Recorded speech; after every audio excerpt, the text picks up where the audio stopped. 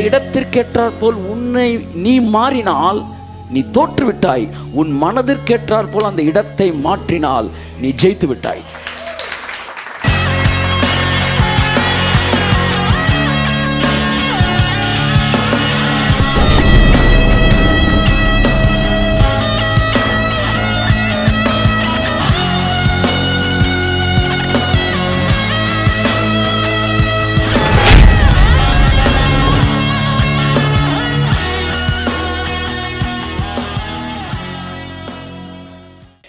இயேசுவின் நாமத்தில் ஜெபிக்கிறோம்னா என்னங்க அர்த்தம்?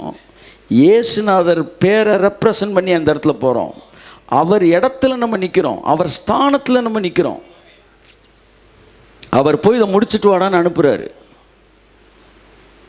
அந்த ரெனியூடு மைண்டு ரொம்ப முக்கியம். பரன்களை பற்றி பேசுகிறேன் போனோம். அம்மாக்கா அந்த அம்மாக்கா ஜோம் பண்ணோம். அப்பொழுது அருகில் இருக்கிற ஒரு ரெண்டு பேர் வந்து எங்களுக்கு ஜோம் பண்ணுங்கன்னாங்க. அவங்களுக்கு ஜோம் பண்ண. அதில் ஒரு சகோதரி சொன்னால் எனக்கு தைராய்டு ஆப்ரேஷன் பண்ண. டாக்டர் சொல்லிட்டாரு. எனக்காண்டி ஜோம் பண்ணுங்க. இயேசு நாமத்தில் உனக்கு சோகத்தை தருவான்னு ஜோம் பண்ணிட்டோம். நான் ஸ்டீஃபன் அண்ணன் ஜேம்ஸ் வந்திருந்தாப்புல. போயிட்டு வந்துட்டோம். மூன்றாவது முறை. திரும்பவும் ஃபார்ச்சுனேட்லின்னு அதை சொல்லணும் நான். ஆர் ஆக்சிடென்ட்லி திரும்ப ஒரு ஆளுக்கு என்னுடைய நம்முடைய சர்ச் ஒரு ஃப்ரெண்டோட தெரிஞ்ச ரிலேட்டிவ் ஒருத்தவங்களுக்கு சோகம் இல்லை. ஜெபிக்க வாங்கண்ணா ஓகே போவோம். அங்கே போய் நின்றுட்டு இருக்கிறேன் ஆண்டவர் ஒவ்வொரு முறையும் நான் ஜெபிக்க வரேன்.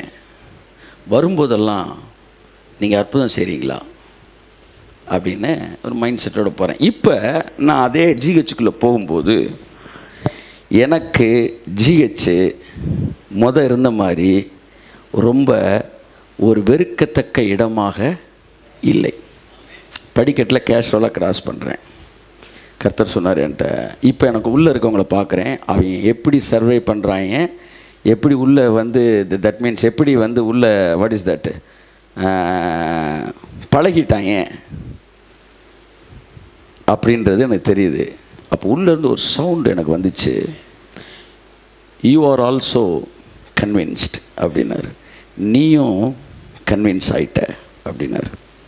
இப்போ உள்ளே இருக்கிறவங்க எப்படி தினந்தோறும் அந்த இடத்துல வாழ்ந்து பழகிட்டாங்க அதே மாதிரி உன்னையும் அந்த எண்ண உன்னுடைய எண்ணத்தையும் அது மாற்றிவிட்டது. இனி நீயும் இவர்களில் ஒருவன் என்கிற சத்தம் ஸ்பிரிட்லேருந்து கேட்டுச்சு. அப்போ தான் ஆவியானவர் பேச ஆரம்பிக்கிறார். Convincing your mind is the dangerous weapon of devil அப்படின்னார். உன் சிந்தனையை மயக்குவது தான் மாற்றுவது தான் உன்னை இணங்க வைப்பதுதான் பிசாசின் மிகப்பெரிய ஆயுதம். நீ இணங்காத வரைக்கும் நீ ஒரு எழுப்புதல் வீரன். என்னைக்கு நீ இணங்கிட்டியோ அங்கே தான் பிசாசின் வெற்றி ஆரம்பிக்கிறதுன்னு அந்த நிமிஷத்தில் இந்த பேச ஆரம்பிக்கிறார். ஏன் ரெண்டு முறை வரும்போது உனக்கு இது கஷ்டமாக இருந்த இந்த ஹாஸ்பிட்டல் இன்றைக்கும் கஷ்டமாக தெரியல? ஏன்னா நீயும் பழகுற. உன்னை அவன் கன்வின்ஸ் பண்ணுறான் அவ் அவ் அந்த இடத்திற்கேற்றாற்போல் உன்னை நீ மாறினால் நீ தோற்றுவிட்டாய். உன் மனதிற்கேற்றாற் போல் அந்த இடத்தை மாற்றினால் நீ ஜெயித்து விட்டாய். நான் மாறிட்டேன். மூணாவது நாள் சர்வ உள்ள படிக்கட்டில் கேஷுவலாக ஹோட்டலுக்குள்ளே போகிற மாதிரி போக அந்த ஸ்மெல் பழகிருச்சு எனக்கு. அந்த ஆட்கள் பழகிட்டாங்க. இப்போ தான் எனக்கு தெரியுது.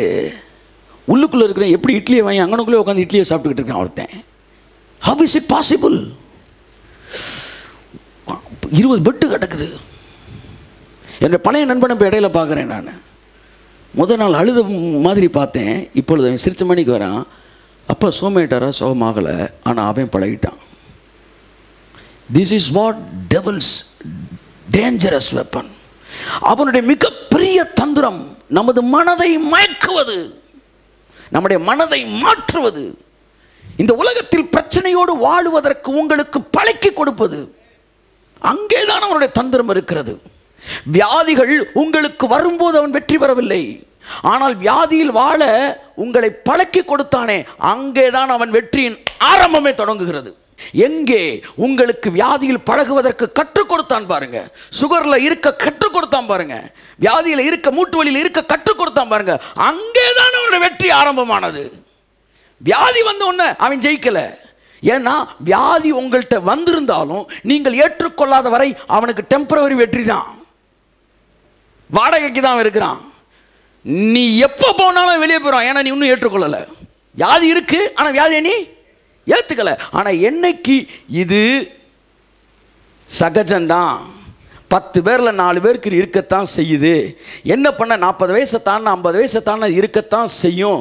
எல்லாரும் கண்ணாடி போடுறாங்க. கண்ணாடி போடுறதுல என்ன தப்பு இருக்குது என்று நீ நினைக்கும் போது தான் அவன் டெம்பரவரியாக இருந்தவன் பெர்மனண்ட்டாக மாறுறான். அங்கே தான் அவனுடைய வெற்றி ஆரம்பமாகிறது. கர்த்தர் சொன்னார் நீயும் கன்வின்ஸ் ஆகிட்டனார் அன்புக்குரியவர்களே புரிந்துகொள் அங்கேருந்து கடவுள் என்று பேச ஆரம்பித்தார் சிந்தனையை எப்படி அவன் கன்வின்ஸ் பண்ணுறான் என் அன்புக்குரிய தேவப்பிள்ளை இன்றைய கிறிஸ்தவம் சராசரி வாழ்க்கை வாழ்வதற்கு காரணம் அவர்கள் மனது மயக்கப்பட்டிருக்கிறது. அவர்கள் உலகத்திற்கு ஒத்த வேஷம் தரிக்க ஆரம்பித்து விட்டார்கள். என் அன்புக்குரியவர்களே அப்போ நான் நின்றுட்டு இருக்கிறேன். ஆண்டவரே ஒவ்வொரு தடவையும் நான் வந்து ஜோம் பண்ணிட்டு போகிறேன் is there any thing happen திடீர்னு ஒரு சவுண்டு வருது எனக்குள்ளே இருந்து நான் வீணாக ஓடினதும். வீணாக பிரயாசப்பட்டதும் இல்லை என்கிற மகிழ்ச்சி. அந்த வார்த்தை வீணாக நான் ஓடலை அப்படின்னு பவுல் சொன்ன அந்த வார்த்தை வருது. எனக்குள்ள பயங்கரமான சந்தோஷம். ஆஹா நான் எதையும் பார்க்கல. ஆனாலும் நம்ம ஓடுறதெல்லாம் கரெக்டாக தான் ஓடிக்கிட்டு இருக்கோம் இப்போ இந்த மூணாவது பர்சன் ஜோமெண்ட் வெளியே வரேன். அப்போ செகண்ட் பர்சன் முன்னாடி ஒருத்தர் ஜெபிச்சேன் அவங்கள பார்க்குறேன். என்னம்மா எப்படி இருக்கீங்க? ஆமாம் இப்போ தான் மருந்து வாங்கிட்டு வந்துக்கிட்டு இருக்கிறேன். சரி ஓகே அப்படின்னு அப்புறம் இன்னொன்று அவங்க ஒரு ஹிந்து நான் சொன்னேன் ஸ்டாஃபோட அம்மாக்கு ஜோம் அவங்க சொன்னாங்க நீங்கள் பக்கத்து பெட்டில் ஒருத்தங்களுக்கு ஜோம் பண்ணிக்கலாமா ஜோம் பண்ணிக்கலையா அந்த தைராய்டு ஆப்ரேஷனா டாக்டர் அடுத்த நாள் செக் பண்ணிவிட்டு உங்களுக்கு தைராய்டு இல்லை நீங்கள் வீட்டுக்கு போகலான்ட்டாங்க ஹலலூயா இதை வந்து அவங்க ஒரு ஹிந்து இன்னும் அவங்க ரசிக்கப்படல. அவங்க சொன்னாங்க அந்த பொண்ணு போய் எனக்கு ஃபோன் பண்ணிச்சு. அந்த ஏசுனார் உங்களுக்கும் சோர்ந்துருவார் உங்களுக்கும் வந்து ஆப்ரேஷன் தேவலன்னு அனுப்பிடுவார். மறுபடியும் நான் மயக்க நிலைமையிலிருந்து ஆமாம் ஒரு ஊழியக்காரன்ற நிலைமைக்கு நான் திரும்பி வரேன். ஆண்டவரே இது என்ன மாற்றக்கூடாது எல்லாம் சொல்லுங்கள் இது என்ன மாற்றக்கூடாது நான் இதை மாற்றணும் கை ஒருத்தவர் ஆமே